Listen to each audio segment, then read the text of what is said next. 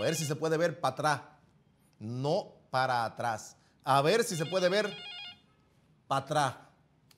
Esto es, dígame usted, aquí en Luna TV, Canal 53. Hola, ¿a quién tengo en línea y desde dónde? Buena, Viejito Arias.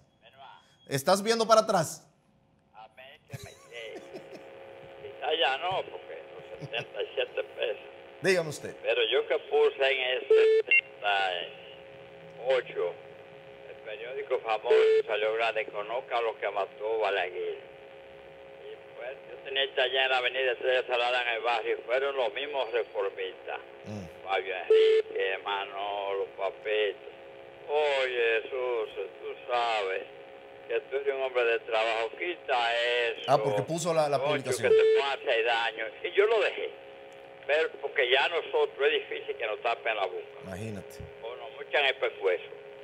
Y vean lo que lo voy a decir. A los PLDistas para que se recuerden de su gobierno.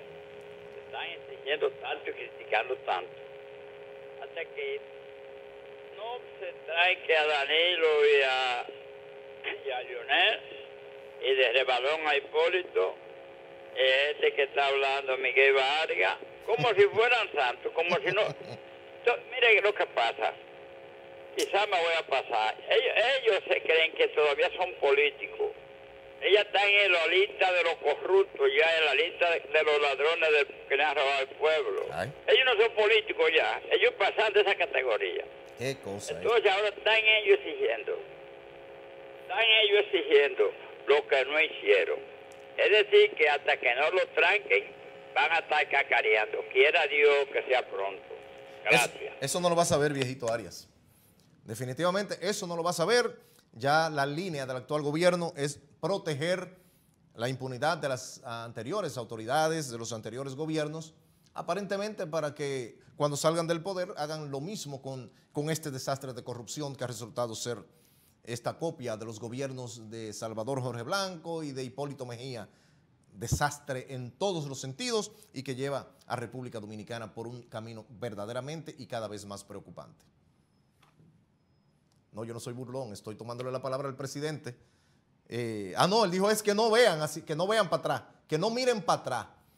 Vamos a ver primeramente este extracto de, lo dicho por el presidente Abinader ayer en la actividad de juramentación de las autoridades impuestas al dedillo en convención por delegados y después voy a externar lo que yo pienso eh, de esta comparecencia ante el partido y sobre todo para fines de, que el público lo conozca del presidente Luis Abinader ayer. Eh, parece que recordó que fue el PRM que lo puso ahí, pero como que le cogió la hora. Vamos a escuchar lo que dijo el presidente. El pasado es corrupción e impunidad. No mire para atrás. El pasado es despilfarro e ineficiencia. No mire para atrás. Pasado es atraso y pobreza. No mire para atrás. Un error de edición ahí. Fui yo. No le puedo echar la culpa a nadie, pero escucharon claramente lo que dijo el presidente. Miren, señores, primeramente, muchos le han caído encima a Luis Abinader porque eh, realmente ya está cada vez más claro que fue una especie de lanzamiento de su campaña reeleccionista. Primeramente, ayer se formalizó, pero no es un secreto para nadie en el ámbito político que desde el 16 de agosto de 2020, su llegada al poder, su ascenso a la presidencia, su juramentación ante la Asamblea Nacional, desde ese día es absolutamente lógico, es absolutamente comprensible que el proyecto sea reeleccionista, tal como de hecho está contemplado como un derecho dentro de nuestra Constitución. Es un derecho que le atañe a cualquier presidente poder repostularse en busca de una reelección y después nunca más. No puede perder la oportunidad porque esa es aparente y lógicamente, comprensiblemente, su intención. Primeramente le han caído encima. Le han caído encima con muchas razones. Escucha el pueblo cómo reacciona. El pueblo se está comiendo vivo al presidente después del lanzamiento de la formalización de su proyecto reeleccionista. ¿Por qué? Por la desesperación que hay en el pueblo, este desastre económico, este desastre de, la, de los indocumentados acabando con el país, este desastre de la delincuencia y todo lo que usted sabe que lamentablemente está pasando, sobre todo la corrupción que el propio presidente está protegiendo dentro de su gobierno. Todo esto no es nada nuevo y no es un secreto para nadie. Pero con un PLD, Partido de la Liberación Dominicana, haciendo campaña a destiempo, con una fuerza del pueblo, un Leonel Fernández haciendo campaña a destiempo, incluso hasta un Miguel Vargas que no tiene ninguna otra posibilidad en República Dominicana que no sea el olvido definitivo del pueblo de que el PRD existió alguna vez en República Dominicana, lo lógico es que el PRM tenía de un modo u otro que reaccionar.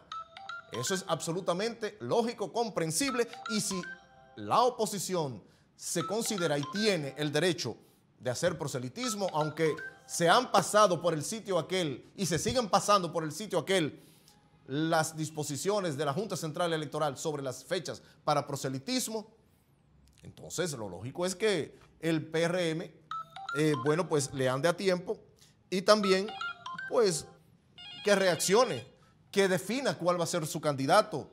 Lógicamente, los estatutos, la ley electoral, la ley de partidos, establece el derecho claro de que realmente puede eh, reelegirse. Eso no está mal.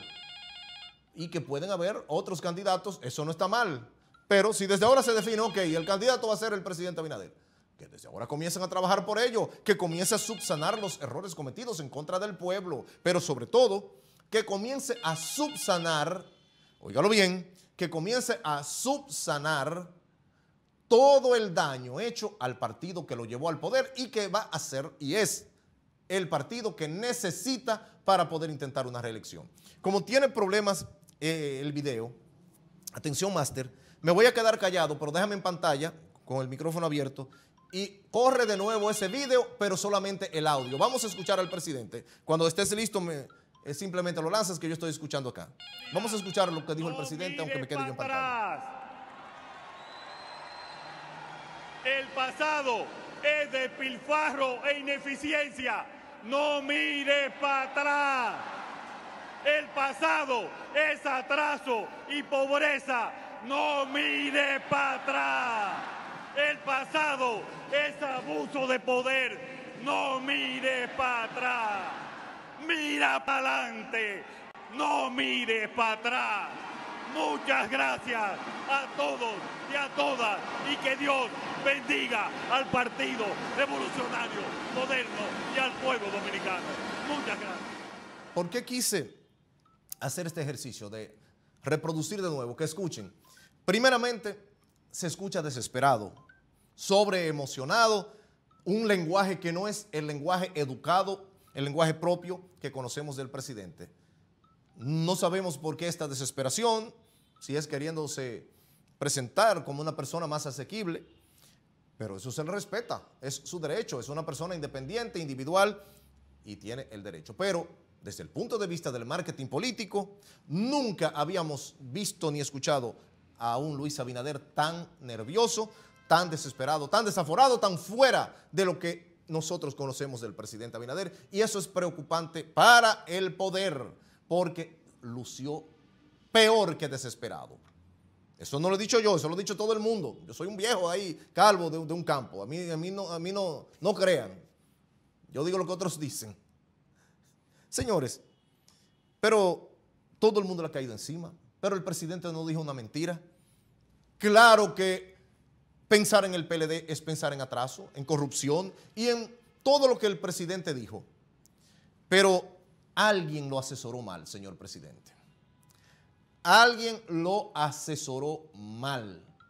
Porque cuando usted dice no miren atrás, refiriéndose claramente a los vicios de corrupción en la administración pública del Partido de la Liberación Dominicana, que dicen, ahí anda Danilo Medina suelto en las calles, hablando de que estábamos mejor.